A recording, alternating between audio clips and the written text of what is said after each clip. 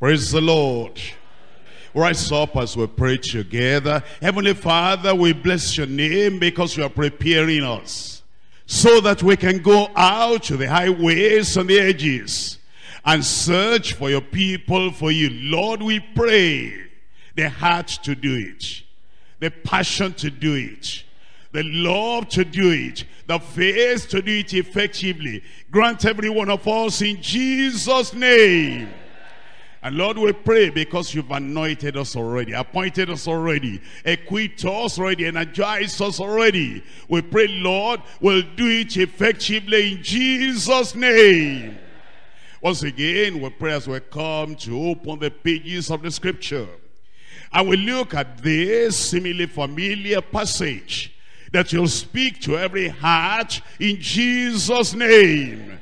Give us the passion of the real minister that we will do the work you've called us to do and do it effectively. We glorify your name, Lord. We pray that as a result of our ministry, your church will be edified. The world will be evangelized and we will be blessed. Thank you, Lord, because we know you have answered. In Jesus' name we pray. And everybody said, Amen. Thank you. God bless you. We're looking at Acts of the Apostles chapter 26. Acts chapter 26. Now Paul the apostle had presented the message. And then he had called for a decision. And he wanted a verdict. He wanted a response to what he had said. He had said in verse 27, King Agrippa, Believest thou the prophets? And then without waiting for him to answer yes or no, he said, I know that thou believest. And now Agrippa must let out himself. He must take his own decision. And he must be able to voice out and to say whether he believed or not. And if he believed, to what level did he believe? So he replied in verse 28, Then Agrippa said unto Paul, Almost thou persuaded me, persuadest me to be a Christian. And Paul said, I would to God, I desire seriously, this is my passion. I would to God that not only thou, but also all that hear me this day were both almost as well as altogether, almost and altogether such as I am, except these bonds. Here we find the passion of a minister, the passion of an evangelist, the passion of a preacher, the passion of a commissioned messenger of the Lord, the passion of somebody who has the gospel. And he knows that this is the only way, the only way to life, the only way to salvation, the only way to heaven, the only way to glory. And because of that he said, Agrippa, you are only almost persuaded how I wish, how I desire. If I could do it and grab you by the soul, by the spirit, and drag you into the kingdom.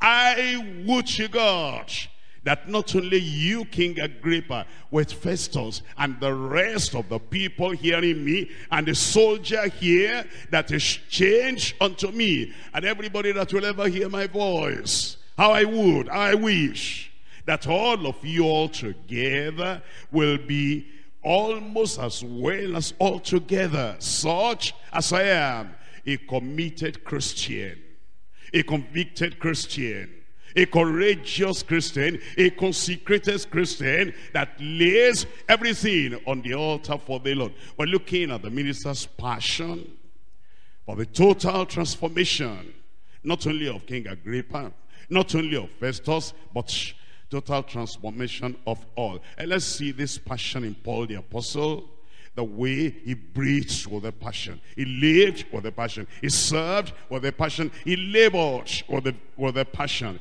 In Galatians chapter 4 verse 19.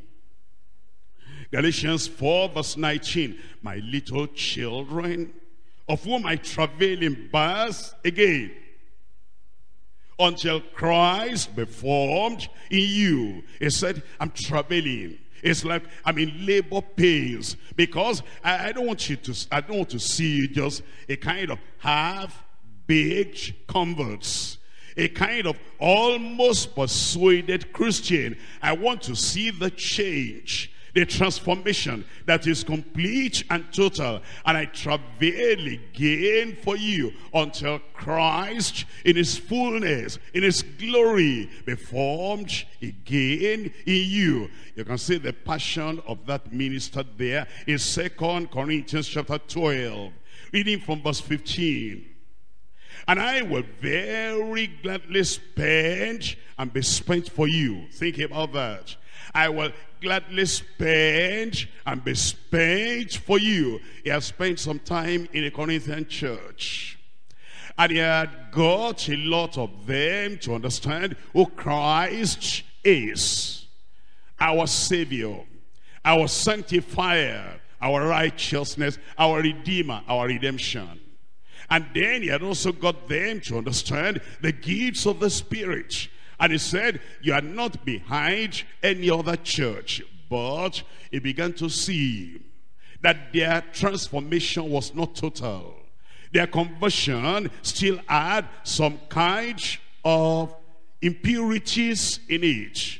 And now he desired that that total transformation, perfection, purity will be realized in them. And so he said, I will gladly, I will gladly spend and be spent. That is to spend every drop of blood that I have so that the change of the new creature and the perfection of the new life and the life that a child of God ought to live. Totally committed, consecrated, submissive, subjected to the rule and the will and the word of the Lord. I will see it in you. That's why I said, I will gladly spend and be spent for you though the more abundantly I love you, the less I belong. Now you can see that uh, preachers of those days of the early time, uh, they were not uh, kind of passive uh, preachers and lazy preachers and lukewarm preachers and whatever they see is what they accept. If the people are changed at least a little bit, almost transformed, almost becoming new creatures, then they are satisfied. No not the New Testament apostles or the New Testament preachers or the New Testament pastors. They wanted total, complete transformation. And that's what we're going to have. I said that's what we're going to have. Colossians chapter 1. In Colossians chapter 1, we see his passion coming through. We see the fire burning hot. And we see the desire expressed in a very serious way. And we see the label of his hand and the goal and the purpose of that labor and passion. In Colossians chapter 1, I'm reading from verse 28. Whom we preach, warning every man and teaching every man in all wisdom that we may present every man how perfect in Christ Jesus. And uh, can I tell you something? There are preachers, when he started the ministry, their goal, their intention was to see this transformation.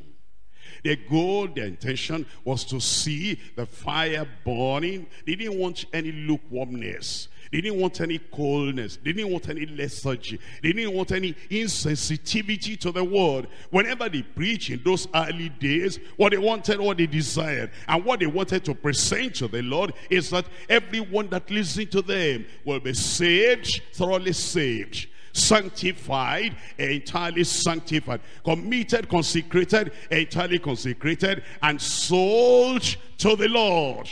But later in life, as they look at their congregation, And it is that the congregation, you know, people are getting married, people are getting responsibilities, and people are having children, and people have to go to work, and people have to get a lot of other things done. And they see that the perfection, the holiness, the sanctification, the total transformation they desired earlier in ministry, they see that it's not forthcoming. Then they just, they sit back and they say, what are we going to do? What am I going to do?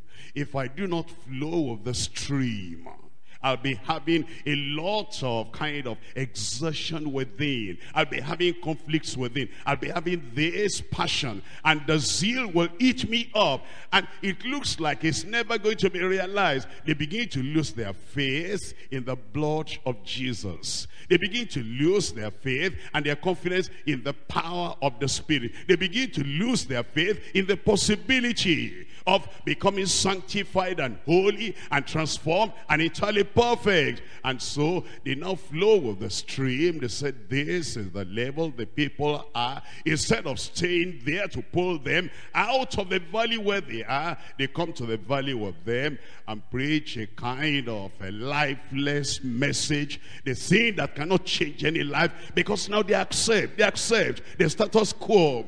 And they say, that is what people are. And there is nothing that will change. They lose their faith in the possibility of the power of the Almighty God to transform a man, a woman completely. But Paul the Apostle said, no, I will not come down to the level of the people. I will stay up there and still keep on giving out the clarion call and telling the people, here is the goal. Here is the purpose. And here is what you do. And therefore we preach him.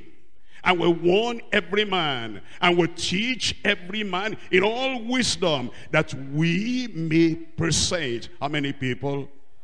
Every man perfect in Christ Jesus. That's the kind of passion the Lord wants us to maintain.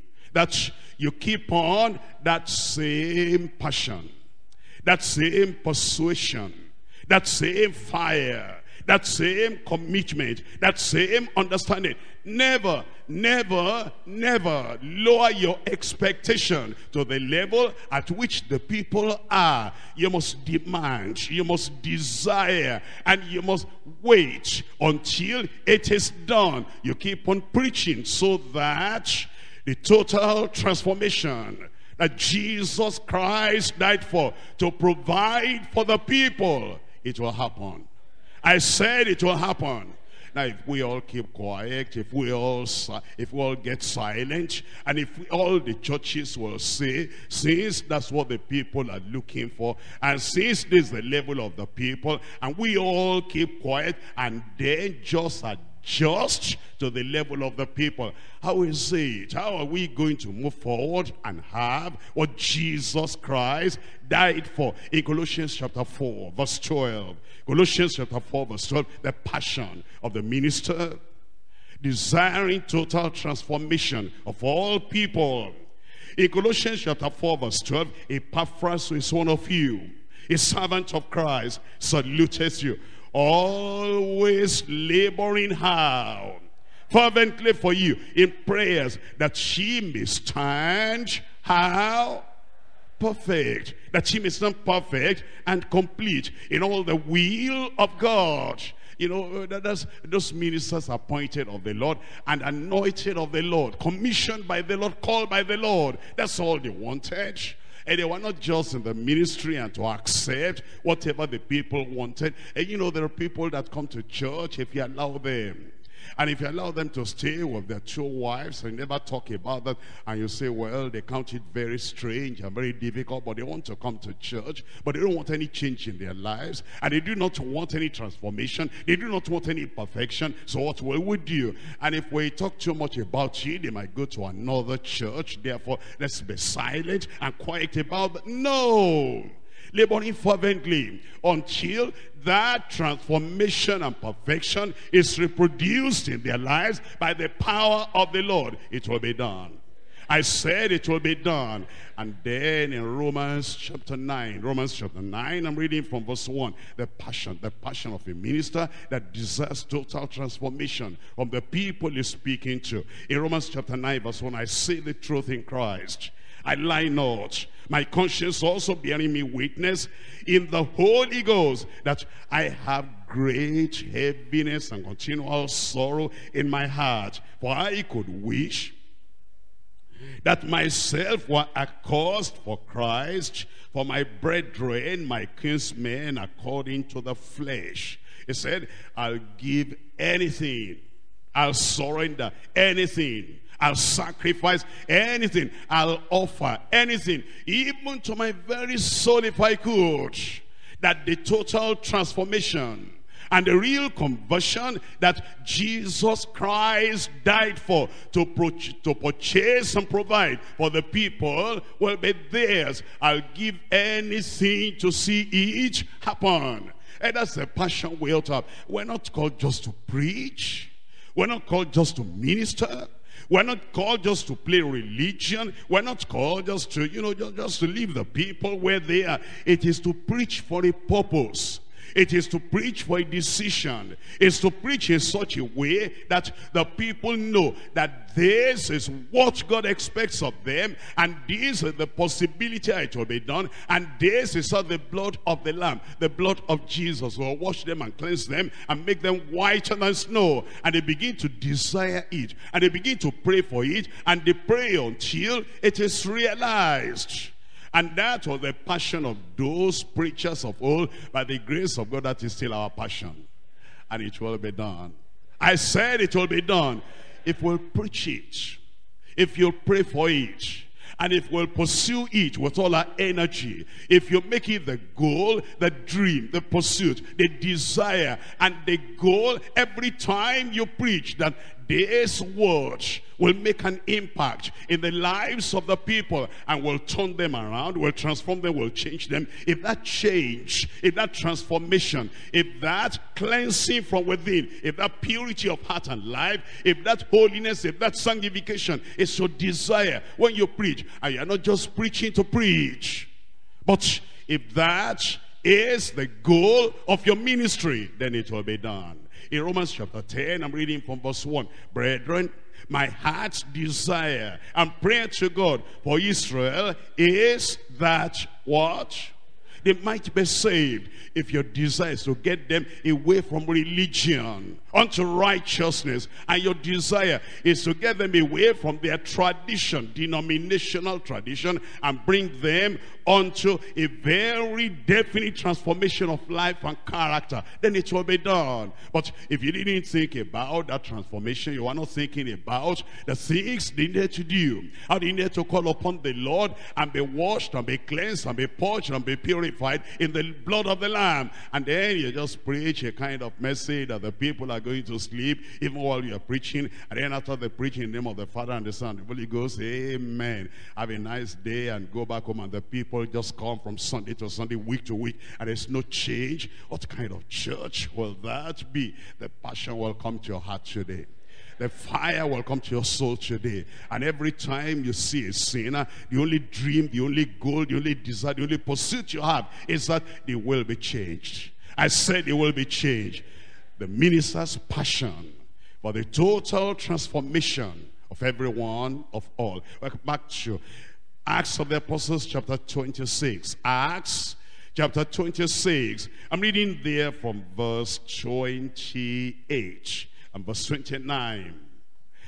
Then Agrippa said unto Paul, Almost thou persuadest me to be a Christian. And Paul said, I would you, God, that not only thou, but also all that hear me this day were both almost and altogether such as I am, except these bonds. I'm going to divide the message to how many parts now? Always three. One, two, three. I'm going to divide the message to three parts. Number one, the indecision and procrastination of the almost persuaded. When somebody is almost persuaded, he has problem with decision, indecision.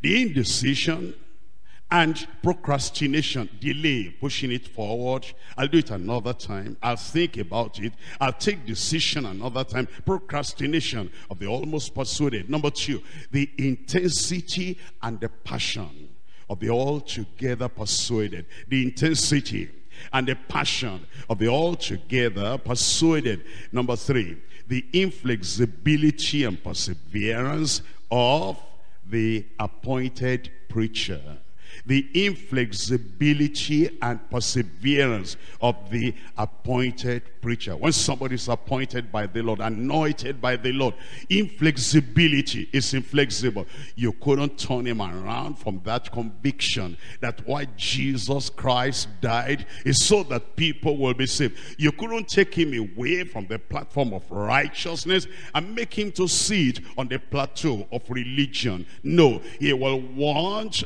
that transformation in, in the lives of the people and it will be inflexible about it. It will be persevering about it. The inflexibility and perseverance of the appointed preacher. I'm coming to number one. What's number one?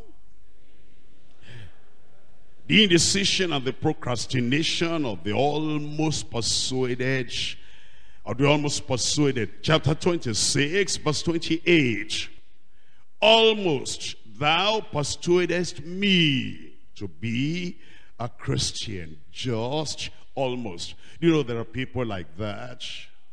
They halt between two opinions.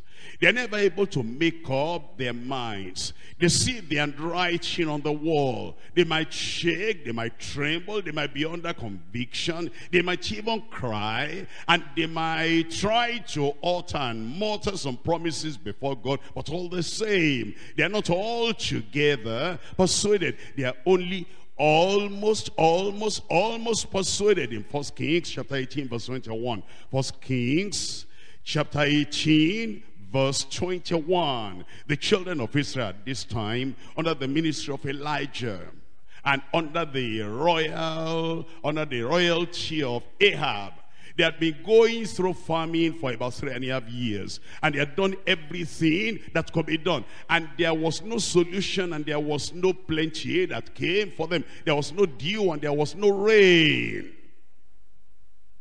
And then Elijah came to them are you persuaded now? Fully persuaded?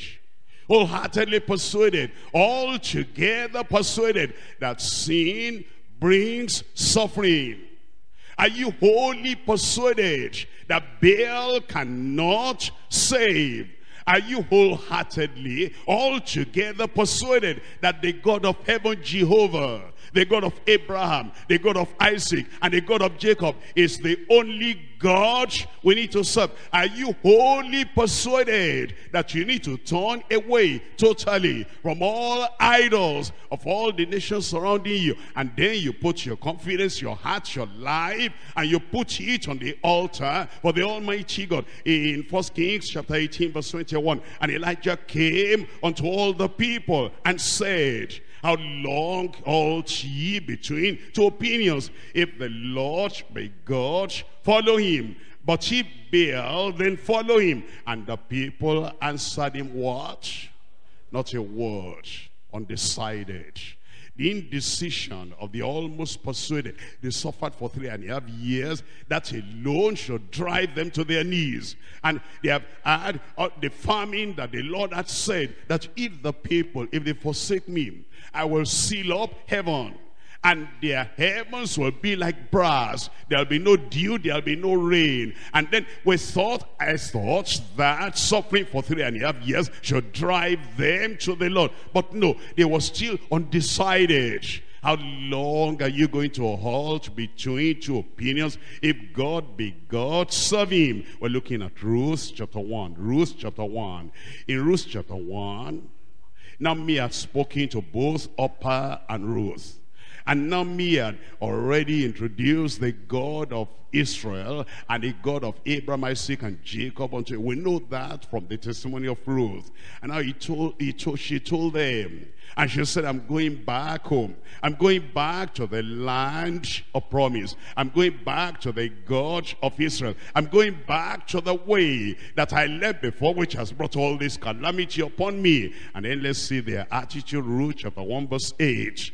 And Naomi said unto her two daughters-in-law, Go return, each to her mother's house. The Lord deal kindly with you, as ye have dealt with the dead, and with me. The Lord grant you that ye may find rest, each one of you, in the house of her husband. Then she kissed them, and they lifted up their voice and wept. And they said unto him, unto her, Surely we will return with thee unto thy people. And there was a kind of a flicker of light, a spark of light, of fire within them. And that seems to say, and we know that your God is the God well to serve. And we know that your people are the people we need to fellowship with. And we know that the land where you're going is a place where to go. And we're going with you. Then she told them, now count the cost.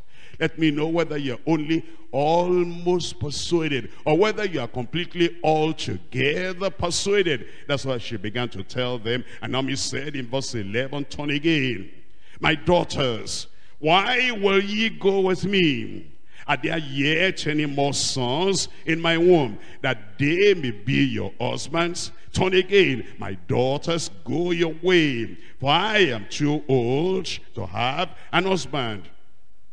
If I should say, I have hope, and if I should have an husband also tonight, should and should also bear sons, would ye tarry for them till they were grown? Would ye stay for them from having husbands? Nay, my daughters, for it grieveth me much for your sakes that the hand of the Lord is gone out against me. And they lifted up their voice and wept again, and Orpah kissed the mother-in-law, but Ruth clave unto her. Orpah was undecided.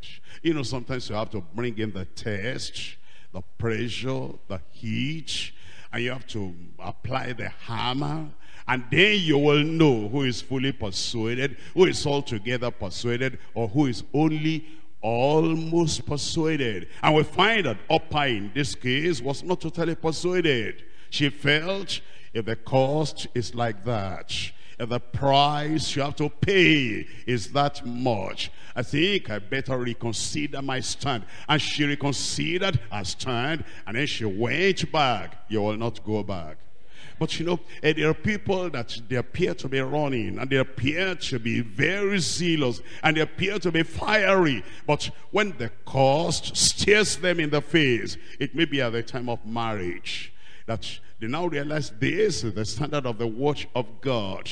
Then all, all of a sudden you find the people you thought were really following after the Lord, then they turn back. They were only almost persuaded. It may be that, you know, you have married and the children are still to come and they are coming.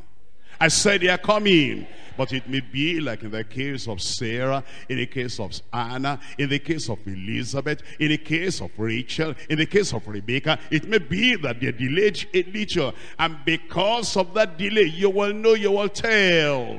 Your attitude, whether you're almost persuaded, altogether persuaded, it may be for persecution, that uh, sometimes a, a little persecution, that the Lord, the Lord is holding them, those persecutors, is limiting them, but he allows them a little to bring the persecution. And then when you see that persecution, then you will know the people that are altogether, completely, fully persuaded, or the people that are only almost persuaded. And you find Orpah here, she was only almost persuaded. I pray that in our own case we'll be fully persuaded. I said fully persuaded. Acts of the Apostles chapter 24 verse 24. Acts chapter 24. And we're reading from verse 24. In verse 24 here is what it says. And after certain days, when Felix came with his wife Drusilla, which was a Jewess, that is a Jewish woman. He sent for Paul and heard him concerning the faith in Christ. He himself said, he said, I've been hearing about this Christ and the faith in Christ. And let me hear each more uh, from the horse's mouth. Let me hear from the ringleader. Let him, let me hear from the champion preacher. And now he sent for Paul the apostle. I want to hear. I want to learn. I want to see the very depth of the faith, the faith that leads us to that life eternal. The desire was there. He knew there was an emptiness in the heart. There's a vacuum in the heart that only God at the point of salvation can feel. There was a dissatisfaction in his heart that you know, if I can hear about this faith in Christ, let me see whether this vacuum in my heart, whether this loneliness in my life, and whether this emptiness I feel will be filled up. And so he sent for Paul the apostle, and they were told in verse 25. Verse 20, before I read verse 25, what if uh, somebody sent for you, a governor sent to you, a king sent to you. A president sent to you. A director sent to you. And he said, please, I've been hearing about this, uh, you know, deeper life, deeper life. And, uh, you know, some of my workers and ministers and the cabinet, they have been telling me that uh, there seems to be something different about your church, about your people. And I, I, I want to know about this. What if you are called? By somebody so high like that. And he says, I want to know, would you please tell me this emptiness I feel in my heart? and this vacuum I feel in my heart, and this loneliness I feel in my heart, with all the position, all the place, everything I've got. And yet I still feel there is something missing. I'm asking you now the question, what will you tell him? It's highly placed. It's high. And he also, he calls the short. If you say something nasty, he could uh, kind of tell his security people outfit to go and lock you up. What would you have said? This tells us the conviction of Paul the apostle. The conviction of Paul the apostle. That he wasn't going to trade the chance, the privilege and the position of telling the gospel, the whole truth, even though he was with a man that could either leave him bound or even release him. Let me read it to you in verse 25. And as he reasoned of righteousness and temperance and judgment to come, Felix did what? He trembled. Felix trembled. Felix trembled. Felix trembled and answered, Go thy way this time. When I have convenient season, I will call for thee. He trembled, but was he converted? He had the gospel. Was he converted? Be faithful, be faithful, be faithful. And understand, you need to have passion for the total transformation of the people. Your passion, your desire, your goal will tell the presentation of the message. And then when you say go this time, look at verse 26. He hoped also that money should have been given him of Paul so that he could release Paul, bribery and corruption. That he might do what? Again? Again? Did Paul give a bribe? I said, did Paul give a bribe? He was not just being delayed by the roadside for 30 minutes. He was not just being delayed in a place for one hour. It wasn't that they didn't want to register his company. And they are delaying the registration of his company for only one month. That he, did, that he didn't give the bribe. It was, he was in bonds, in, in imprisonment. And the chains were in his hand and was changed to another soldier. And the king or the governor called for him. And he said, tell me about the faith. And the one that has the final say, so to say, to release him or to leave him bound, asked him to come and preach to him. And he didn't compromise the message because of that. He still kept the message. That's how you know a person that is altogether persuaded. A person that will not become so cheap, so fearful that it will tone down the message because huh, I need something from that office. They are the people to register my company. And this uh, policeman, if I give him a tract, then I'm in trouble because he's asking for my particulars and I know what he's wanting and he keeps me there for 30 minutes, for one hour. And he says, ah, Mr. Man, what's, the, what's wrong with you? You don't have any, any other thing to do? You don't have anything to, anywhere to go today? Oh, you say, yes, I have a place to go. Don't you know what you ought to do? I've shown you my papers. Papers? Economy is going down. Paper. Salary, don't you read papers, newspapers? The salary is not in our papers. Show me documents. Okay, give me your document now. Let me take it home and give my wife and go and pay school fees for my children with your document. Documents. You know what you want? What do you want? Ah, you say, okay, stay there. And some people cannot stay there for five minutes. Their salvation is not worth five minutes stay. Their conversion is not worth one hour delay. But in the case of Paul the apostle, the conversion he had, the persuasion he had, and the sin, the conviction within him. He said, the chains are here. And it's going to disturb me from going here and going there and going there. Some people will use the excuse and say, to release myself so that I can go and preach. Okay, what do you want? It's your, I'm not the one giving, you are the one demanding it. They Have, what do you want? This is what you want. Okay, Felix, take what you want. And then what will he think about what you are preaching? You are talking of righteousness. Where's the righteousness? You are talking of judgment to come. Where is the judgment to come? You are talking of temperance. Where is it? Prove what you say you believe. And it is when you prove it and you stand and you know that this is the way and this is the word and you're not going to compromise even if it brings suffering that's when we know that you have conviction We'll have that conviction it says, and he hoped also that money should be given him of Paul, and that he might lose him. Wherefore he sent for him the oftener, very often, and communed with him. And after how many years? You see that? Paul the apostle said, that's how you know a person who is fully, who is fully persuaded it's all together persuaded. Somebody will not say, after one month, after two months, after three months, looks like I'm staying here more than I thought. They're keeping me in this place more than I thought.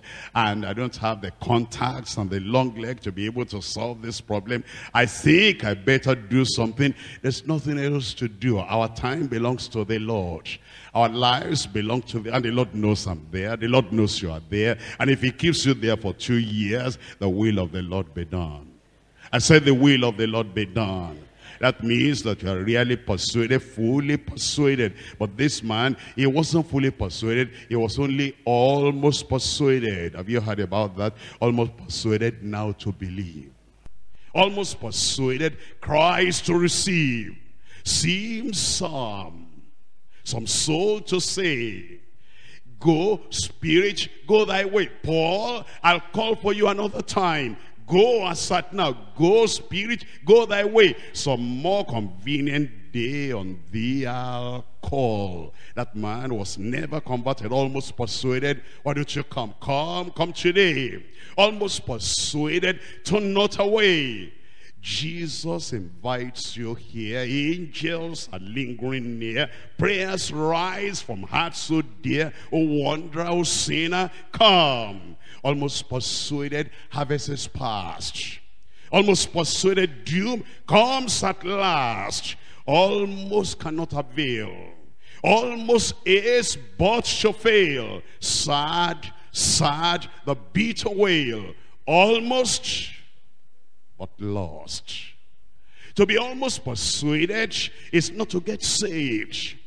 To be almost persuaded is to be lost. But for you to say, I will not just be almost persuaded. My heart, my life, my mind, my soul, everything I've got, I bring to the altar. I am altogether persuaded I'll follow the Lord, you'll follow the Lord in Jesus' name. Point number two, the intensity and the passion the intensity and the passion of the altogether persuaded. Acts chapter 26, I'm reading from verse 29.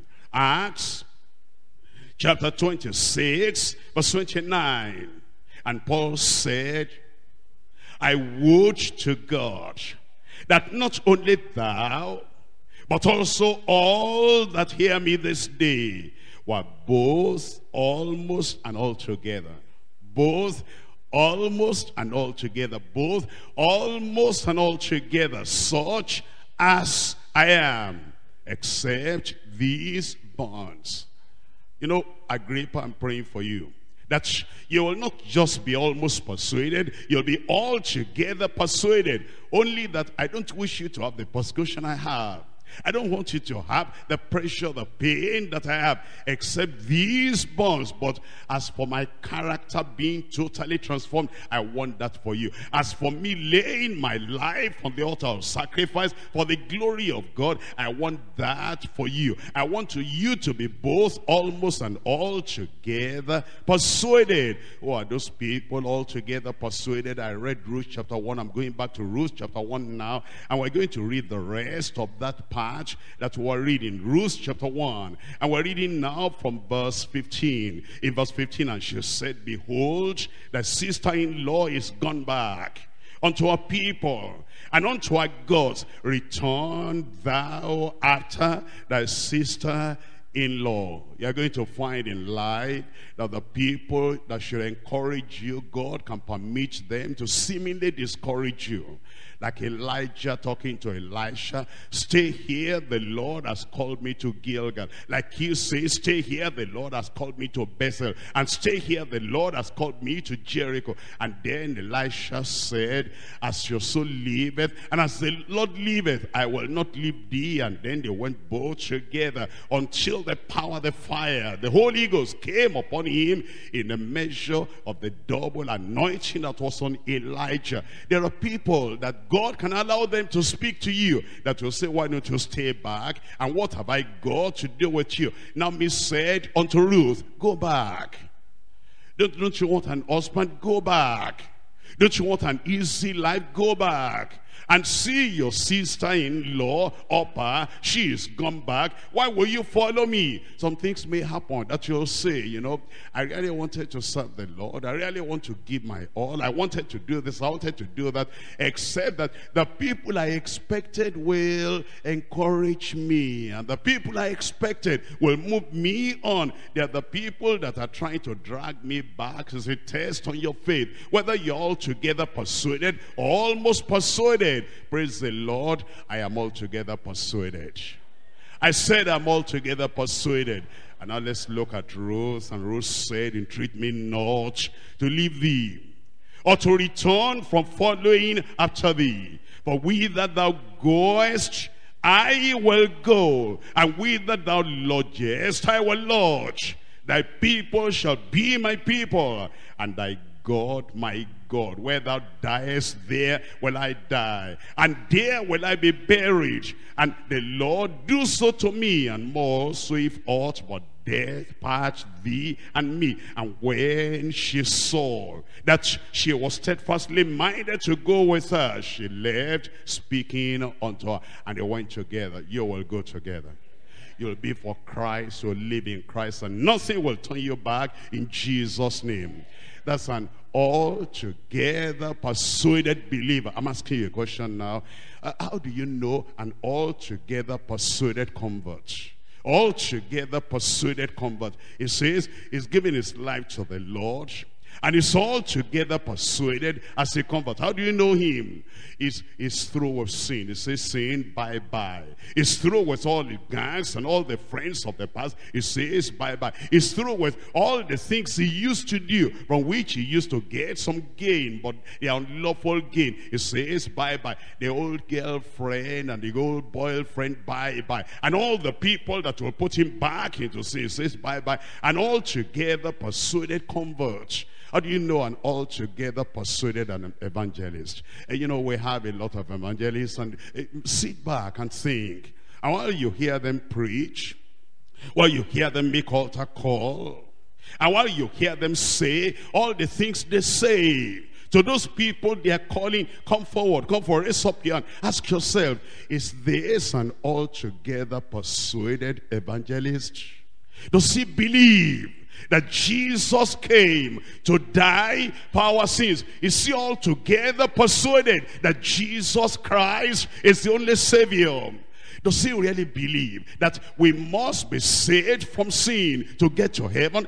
This evangelist preaching here and this person making this altar call, and this person that is making the people to laugh, and then they're rejoicing, they're excited, and they're dancing, and he's saying, Jesus is good, and Jesus is merciful, and Jesus is wonderful. How many of you believe Jesus is wonderful? Wave your hand at me. Praise the Lord, you are saved. No repentance. Is this evangelist? And altogether persuaded evangelist. This person here that is preaching and the Bible says, without holiness, no man shall see the Lord. Is this man persuaded? Altogether persuaded. And that's what, that's what you need to find out. It's not just that somebody is preaching. It's not just that somebody is carrying the Bible. It's not just that somebody is spending millions of dollars on Naira. And then is talking to people. Come, come, come. You see an altogether persuaded evangelist. Is this man here, pastoring a church? You see an altogether together persuaded pastor that what he's preaching you see all together persuaded about it. When some of the members of the church want to say ah, pastor if you stay on that nobody is going to cooperate with you. Is he persuaded. Does he have conviction? Does he know that this is the truth? Unalterable unchangeable infallible and irreplaceable that this must be in the lives of the people he's preaching to. Is he all together persuaded? You know, pastors who are not altogether persuaded, once there's a little resistance from their members, the members of their churches, they're going to say, oh, members, what's the problem now? I'm a peace-loving pastor, and I didn't mean to hurt anybody. Okay, if uh, what was said about not going to marry unbeliever, and then you go to that denomination, that place, to go and have a woman, if that's what is going to break us apart, do whatever you want to do. And you, marriage committee, don't tell me anything. Anything that people is between you and them. Whatever they want to do, be a father to them and love them and give them what they want to have. This is our church that is so peaceful here. We don't don't want anything to disorganize us. Therefore, don't tell me anything about marriage committee. And I leave it in your hand. It's your business now. Whatever you do, I'll just be praying for you. Is that man altogether persuaded? And there you find these young people bringing unbelievers into the church. And those unbelievers they bring, they're joining the workforce and they're workers. And the pastor is saying, just praise the Lord. This is our church and the church is growing. Is this pastor altogether persuaded? And from the campus, they reported you are a pastor. And then they reported your child to you. They reported your daughter to you. And he said, uh, Pastor, your daughter on the campus, is a kind of is doing some things uh, it will shock you if you if you see what your daughter is doing. She is uh, going this way and going this way and going that way. And then after i say okay i understand. Don't don't uh, spoil my family. I'll take care of my daughter. Are you fully persuaded are you all together persuaded that if your daughter continues like that, that she will perish? Do you believe the word of God that except a man, except a woman, except a boy, except a girl be born again, he cannot see the kingdom of God? And then eventually you'll call your daughter I hear that, uh, you know, things are going on on your campus. Be very careful. You know, all these campus people, you know, I'm a pastor. Don't let my information get to our region overseer, to our state overseer, because just whatever you practice, do it with wisdom so that they will not be telling tales and talking about you if that's the way you talk to your daughter. To protect evil. And you cannot call your daughter and say, here, come. I hear reports about you. And I want to tell you, the soul that sinneth, it shall die. Be a pastor in your family. Be a pastor to your children. If you are altogether persuaded that sin ruins the soul and destroys the life, eh, your boy has been reported to you that your boy is doing evil, that your boy will be in the nightclub, that your boy will be with those, you know, campus ladies, that's because it's the ladies now that are chasing and running after the boys. And then they know that your son is, uh, you know, the son of a pastor. And these girls are running after him and your son is, is into that. And your son never attends the campus fellowship. And then our people on the campus, they said, Pastor, you know something is happening. Your son, we run after him, we can't catch him. And we tell him, this is campus fellowship for deeper life. Your daddy, your mommy, they are workers, they are leaders in deeper life. Come here. And your son is not listening to us. And then when they tell you like that, how do you react? How do you react? How do you respond? Do you call your son? And if your son is saying, no, daddy, they are telling lies against me. Eli said, no. The report I'm hearing about you is not like that. If anybody falls into the hand of the Almighty God, who will deliver him? Even with all the warning he gave, God still condemned him. Because he didn't do the right thing. When your son is reported to you, what, how do you react? Are you a fully persuaded altogether persuaded pastor that you say, here is the way. And then you take that boy, you take him and hand him over to the campus coordinator there and say, this child, while he's here, is your child, is your son. Whatever you will do to your own child, you want to cane him, I give you the, but in the presence of that son, and anything he does, let me know about it. And you put some fear and you put some understanding in your child, making your child, you know, my boy, you understand, whatever certificate you get out of here is nothing to me. I want you to get to heaven because I'm a fully persuaded pastor that Jesus Christ can come at any time. And because Jesus Christ can come at any time, I don't want any in my family to meet to miss when we gather up there. Therefore, my son, shape up and get saved. Your son will shape all, but you know, if you're covering your son, you're not an altogether persuaded pastor not an altogether persuaded evangelist, and then your son will be hiding under the cover that my daddy will never believe any story they tell about me. Mommy will never believe any story they tell about me. You are the one sending your children uh, to the other direction. Are you a fully persuaded, altogether persuaded parent? A parent that is fully persuaded, altogether persuaded. Do you believe that a child of God shall not marry an unbeliever? Do you believe that with all your heart, all your soul? Are you altogether persuaded that this is the way? Walk ye therein. And then your child comes um, your child is still claiming to be born again, still claiming to be a child of God. And you say, Mommy, I wanted to tell you something, but I saw you are not well disposed to listen to me. But the way we are talking now, I'm guessing you are willing to listen. Mommy, will you listen? Tell me yes. And then, uh, this thing I want to tell you, will you agree with me? Tell me first. When you tell me, then I will know whether I can agree or not. Mommy, don't talk like that now. I thought, you know, I'm your daughter. If I cannot confide in you, who else will I confide in? Mommy, tell me, yes. And then, okay, what is it? I've seen the person I'm going to marry. Hmm. Where? From the campus, from the church. They call you in the marriage committee. Mommy, you know, to tell you my mind, I can never marry from deeper life. We stop the conversation there. We stop right there. I didn't bring you into the world just to get happy. I didn't bring you into the world just to get married. I brought you into the world as a transitional process. This place is a transition. I'm taking you to heaven and I never will live to see you going to a home I don't know about. If you're going to take a decision and you're going to carry me along as your mother, I must know where you're going. I must know that man. And I don't care. You say you get pregnant. I'm telling you, with that pregnancy, get the baby and throw the baby to the man. You are my daughter. I keep. You're not going to marry that man.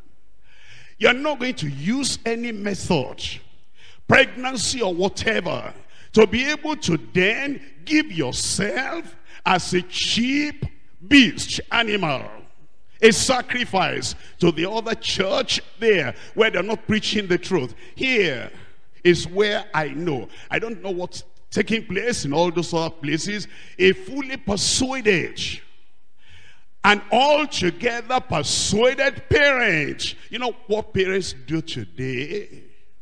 The girl says, I'm pregnant now. Were you pregnant for? Well, uh, mommy, you know, this man, I know that you will not understand, but he is from the white garment church. And I'm pregnant already. And you know, mommy, it's not good for any woman. You're a woman too, mommy. Don't you understand? It's not good for a woman. Have a child here. Have a child here. Have a child here. I want to have all my children only with one man, or the white garment man. And then through that road, you go to hell, not here. But you know some parents, they are not all together persuaded. And then they will say, okay, then the man will come and will prostrate. Will prostration give us salvation? And then after the prostration, I say, it's a mistake, mistake on my child. I prayed before the child was born. And I said, my fingernails will not miss heaven. My hair will not miss heaven. Any part of me will not miss heaven. Not to talk of my whole daughter and my son missing heaven. And then with my permission to give that charge to somebody that will lead him to hell I will not agree with that marriage. And then you can sit down and say you are taking dowry from somebody that you do not know whether he will lead your child to heaven or hell. You are not an altogether persuaded believer. If you're a parent and you're all together persuaded and you know this is the only way that leads to heaven. And you have chosen that way and you are going to get to that heaven. You'll not allow them to just take your daughter away like that so easily. From today, we're going to be persuaded. Marriage will not stop us all these young people, children, coming with all their pranks and all their tricks will not stop us in Jesus' name. You know what? There are some people in the other religion, other religion, you know what I mean. If they say they will marry a Christian, the father will say, hey, come on here. I'll prefer you dead than to go to marry a Christian. Am I right? Or is it they are fully persuaded on error and we are not fully persuaded on the truth? Or is it we can make it so cheap that will say, okay, if that's your choice, and then you say you are taking dowry, then you call our members, then you're expecting me, even the GS, will come to me and say, uh, Pastor, Daddy, my child is getting married. Getting married to where? Where is that? It's going to be in that other place, not here. This place is not good enough. You're a preacher with us. You're teaching other people. This one is not good enough. All these brothers here that we have taught, they're not good enough to marry for your daughter. All these sisters who are here, they're not good enough for your son. And now we have some of our children, they're celestial, they have married. Then the CSC, they have married. And then the Cherubim and Seraphim, they have married. Some of them are in the redeemed. Have married. And some of them are in the Foursquare. They have married. Some of them are the assemblies of God. They married. Our children, while we're still alive, they're going and slipping out of our hands. And we don't know where to find them again. You find them outside the way they dress. When, when they were born, some of these girls, we didn't put any holes in their ears. But you see them now, the holes in their nose and their ears, our children our children, our children. When are we going to redeem them? When are we going to bring them back? What shall we do? How will this church come together with real persuasion? And will say, Lord, give me strength and give me health and make me today an altogether persuaded parent that, Lord, my conviction, I'll pass my conviction to my children. I'll pass my conviction to my family. And this strange that is going on as if there is no persuasion anywhere anymore. Oh Lord, it will stop. Point number three, the inflexibility and the perseverance. The inflexibility and the perseverance of a fully persuaded of an appointed preacher. I'm looking at, I'm looking at Judges chapter 11. Judges chapter 11. And in verse 35. And it came to pass when he saw her, he rent his clothes and said, At last, my daughter, thou hast brought me very low, and thou art one of them that trouble me, for I have opened my mouth unto the Lord. Tell me the rest. And I cannot go. That's, a, that's an altogether persuaded leader. Are you like that? Will be like that. Let's rise up and pray and tell the Lord that time has come to be all together persuaded, all together persuaded, all together, all together, completely persuaded. And you're not going to allow anything, anything, anything under the sun to shift you. Anything under the sun to sway you. Anything under the sun to dilute the message the Lord has given you. You want to be altogether persuaded. If you need to do it with tears with your sons and daughters, you do that. If you want to do it with pleading and kneeling down for your daughter, for your son, you do it. If you want to do it with some seriousness and affirmation, you do it. And you say, here is my persuasion. Here is where I stand altogether persuaded. Altogether persuaded. Your soul, your mind, your heart, your life, altogether given unto the Lord.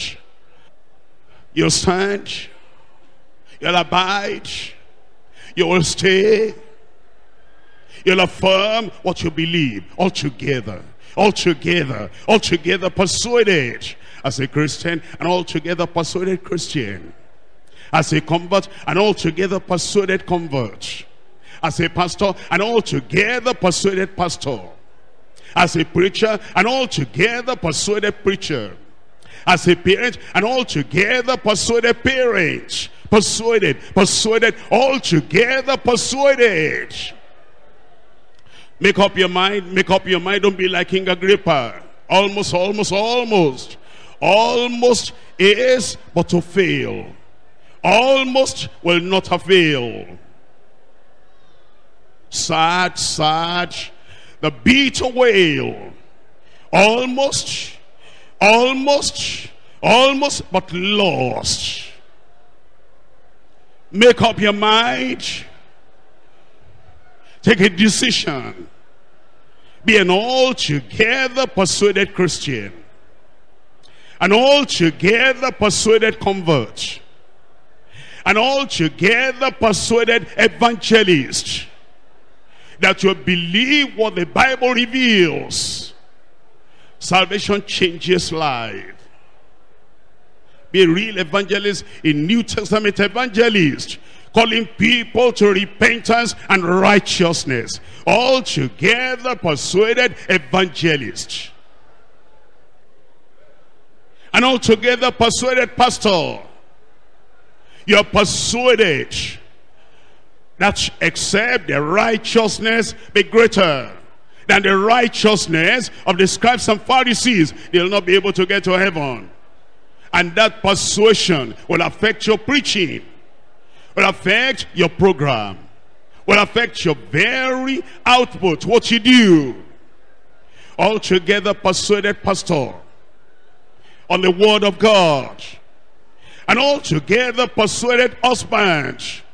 Your wife wants to go to the mountain, to the valley, wants to bring in olive water, olive oil. If you are not together persuaded husband, you take your stand. You are the head of the home. You plead with her, you beg her, you pet her, you pray with her, and you do whatever can be done to keep her in the faith. And altogether persuaded wife that you not allow your husband just to go astray. To be led astray, led into sensuality, led into worldliness, led into the works of the flesh by women in the office. You watch over him. If you're altogether persuaded wife, altogether persuaded parents, you believe, you believe, you believe. This is the only way to heaven. And you're fully persuaded, altogether persuaded in your heart There'll be no compromise with your son. There'll be no compromise with your daughter. You'll not be covering your daughter. You'll not be covering up your son. All together persuaded. You'll join hands with the campus leaders and the leaders over these young people. And your son will know, your daughter will know that you're not siding evil. You're all together persuaded altogether persuaded missionary. You're not there for nationalistic purpose. You're there to preach the gospel. Altogether persuaded. Altogether. Altogether. Altogether persuaded. Real conviction. Real desire. Laying everything upon the altar not allowing anything whatever to tamper with the purity of this gospel.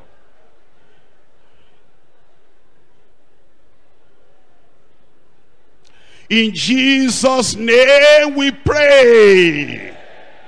Do you have the believers there? In Jesus' name we pray. Do I have some people here all together persuaded? And that you know this is the only way. Are you there? I said, are you there? Where are you? I can't see you. Am I just, am I a lone ranger? Am I the only one that just loves this Bible? You love this Bible? You love Jesus? You love heaven? Do you believe that what we're preaching is the truth? Have we deceived you? Do you think we're compromising? Do we think we're laying a heavy burden on you? Truly, truly, with all sincerity in your heart. Do you believe that this is the way? Are you going to walk therein? You have a Bible. Where is it? You love that Bible? You accept that Bible? You want to read that Bible? It will show you the way to heaven. And your wife, and your children, and your husband. You know what the other churches are doing with this Bible? They don't read it anymore. They just pick up one verse and they just encourage their people. Nobody is preaching the holiness. Do you accept this Bible? Will you give it to your children? Pass it on to your converts? Can you raise it up? Can you say this after me? Almighty God, I come before you today. I pledge my life again. I pledge the totality of my personality again. You have given me this word that will show me the way to heaven. Lord, I accept it. Lord, I believe it. Lord, I'm altogether persuaded that this is the only way to heaven. Lord, I will stand. Lord, I will live by it. Lord, I will preach it. I will emphasize it in my family. My children will follow the same way. Lord, I pray all the grace I need, all the strength I need, all the power I need, all the commitment I need, all the courage I need to be able to stand by this word of God. Give it unto me and I will live by it. Lord, help me. Lord, help me. Lord, help me. In Jesus' name we pray. Heavenly Father, we thank you at this time. We bless your name and glorify you. We know you are calling us to an altogether persuaded kind of Christianity. And Lord, we come to it this morning. Nothing will change it. Nothing will dilute it. Nothing will sway us. We will stand forever on this word in Jesus' name. Confirm it in our lives.